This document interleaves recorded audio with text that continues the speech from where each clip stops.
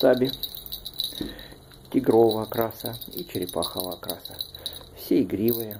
Родились 29 марта. Возраст им, получается, 2 месяца и один день. Вот все такие вот. Любят поиграть, попрыгать.